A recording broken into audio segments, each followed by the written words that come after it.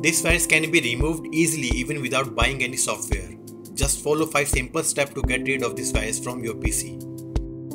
Step 1. Do a system restore. If your antivirus software is not able to remove this virus, then you can try the system restore option. This is very powerful and effective option to recover your PC at that point when your PC configuration was healthy. It does not affect your personal files and they remain the same.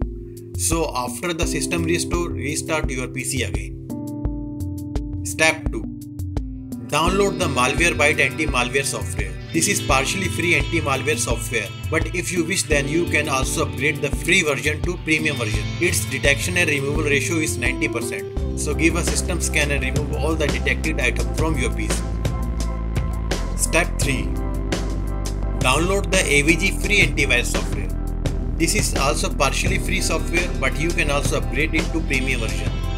AVG has huge malware detection database, so it detects and removes almost every file. So download and install the software and give a thorough scan and remove all the detected items from your PC. After all this, restart your PC again. Step 4. Download the CCleaner software. This software will improve your PC performance and remove all the junk file to make the space. This one is also partially free software and you can also upgrade it to premium version. So give a system scan and remove all the junk items. And again restart your PC now. Step 5. The last one is firewall.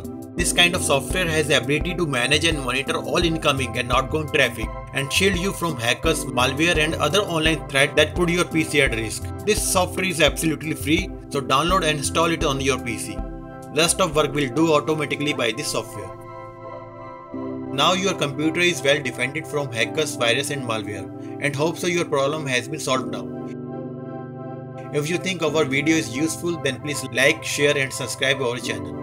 Right now we need 1000 subscribers to activate the community part of this channel where I can solve your problem as a forum. So we need your support to grow.